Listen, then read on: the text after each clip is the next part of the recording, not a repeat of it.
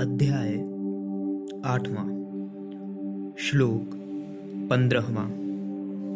गुणहीन मनुष्यों का सुंदर अथवा रूपवान होना व्यर्थ होता है। जिस व्यक्ति का आचरण शील से युक्त नहीं, उसकी कुल में निंदा होती है। जिस व्यक्ति में किसी कार्य को सिद्ध करने की शक्ति नहीं, ऐसे बुद्धिहीन व्यक्ति की विद्या व्यर्थ है। और जिस धन का उपभोग नहीं किया जाता वह धन भी व्यर्थ है।